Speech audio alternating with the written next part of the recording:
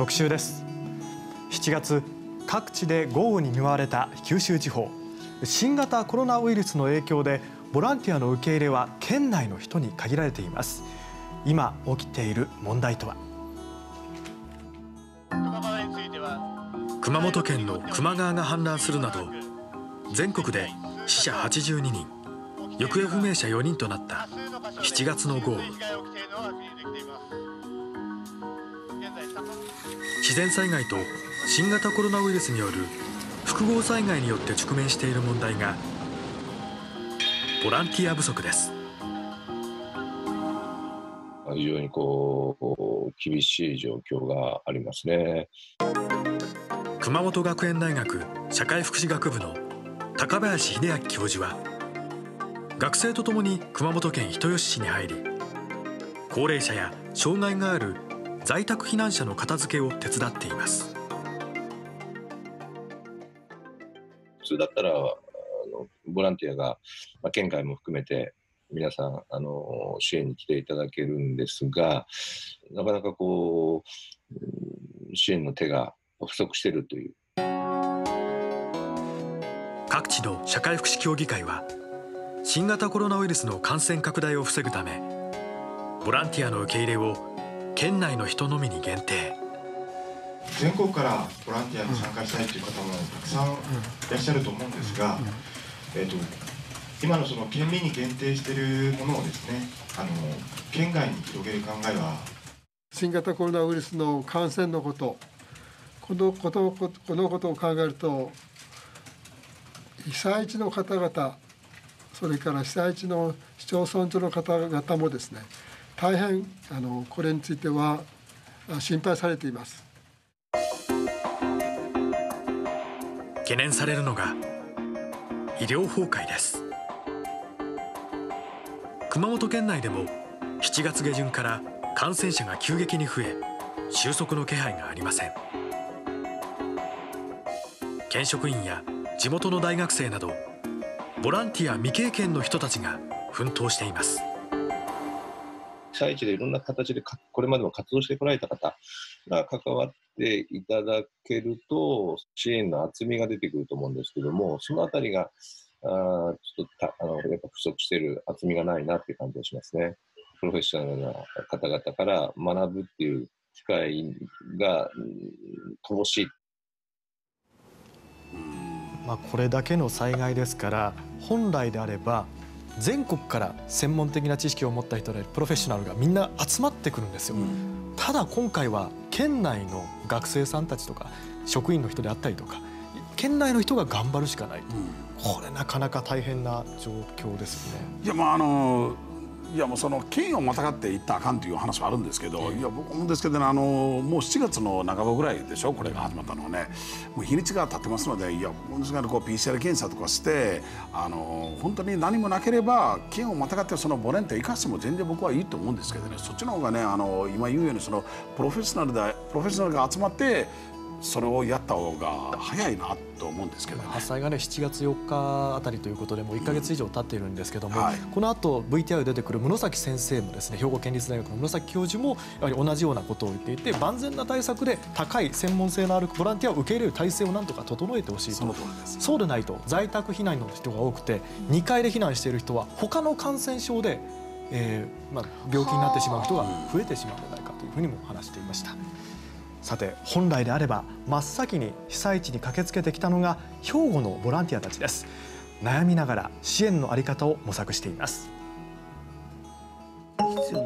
災害支援ボランティア団体チーム神戸代表の金田真澄さん。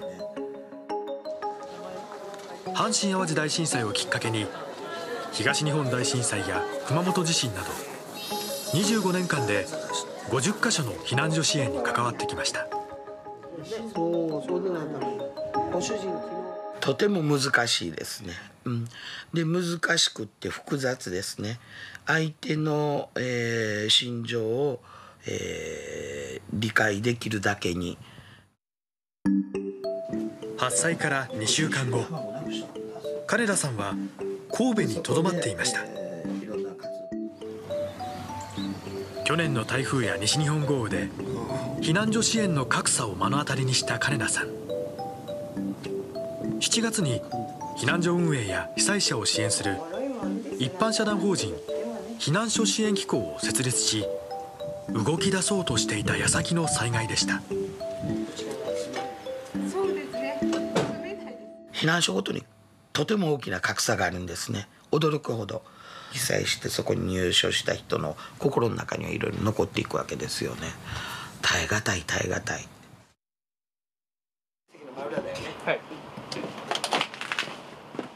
避難所支援機構としては初めての災害。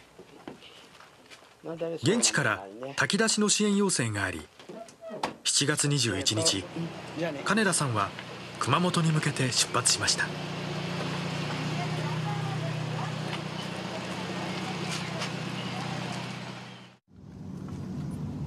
チーム神戸としては現地のボランティアと合流し物資の提供や炊き出しを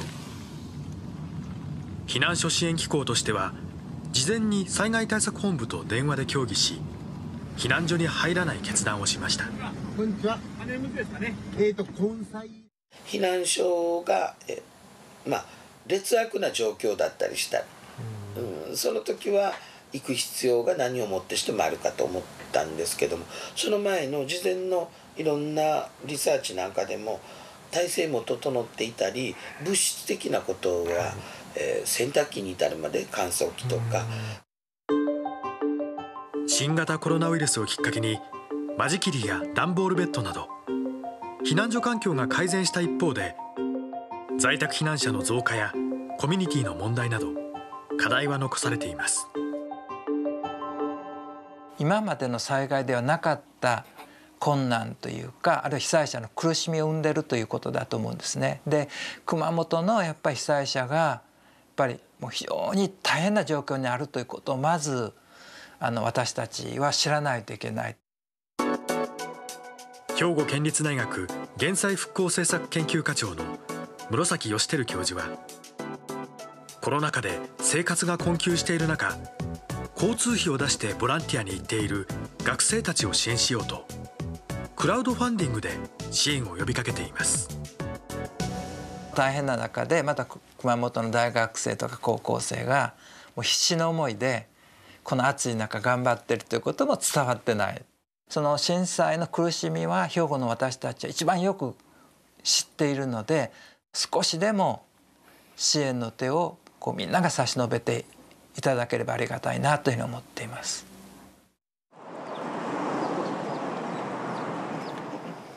1週間後神戸に戻ってきた金田さん。今後どのような支援をすればいいのか。災害派遣医療チーム DMAT として熊本に派遣された神戸学院大学の中田啓二教授から情報収集やアドバイスを受けていました。うんなんかいっぱい、えー、ね、取り入れたこともいっぱいだし、えー、何よりも何やろ、うん、ちょっとやる気が出てきました。コロナ禍の災害という初めての経験に頭を悩ませる金田さん。現在は熊本学園大学の高林教授と連携して神戸からの後方支援に徹しています、願いします。すいません。まあ、今金田さんをご紹介しましたけども兵庫の団体でも被災地に支援に行きたくても行けない人がいるで支援の在り方をずっとこう悩みながら模索している。ボランティアの皆さんにとっても苦しいですよね。いや今のその金田さんもそうですけどあと室崎さんとかね、はい、もう正直であの今の時代といったら神様に見えてきますよね。なんかあの人助けをしたいとか支援をしたいとかボランティアしたいけどそれが今のこの熊本でそれができない状態っていうのがなんか本当に